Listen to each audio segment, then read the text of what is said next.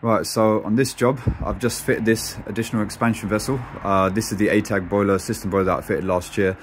Um, we did advise the customer that they may, may need an additional vessel uh, because there's quite a lot of radiators. They have been having problems with the pressure, so fit that here them here for them today. But the main reason for this video is to give you a review of this Cigman laser level that I've been sent out.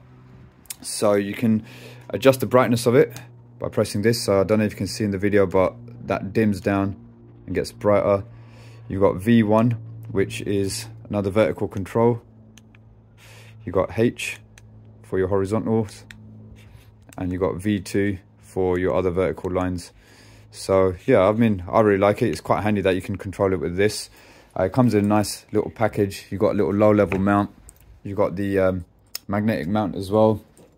I've got my little mini scissor mount there as well, so I can raise it up and down as well.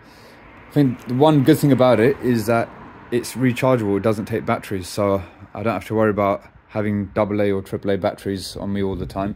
If it runs out of battery, I can just plug it into a USB port um, and recharge it. But for the size of it, it is pretty impressive. I mean, it's quite bright in here today. I mean, the sun's gone down a little bit, but it was quite bright. But you can see, you know, we're getting the lasers going all over in daylight as well. So, yeah, I think it's really good bang for your buck.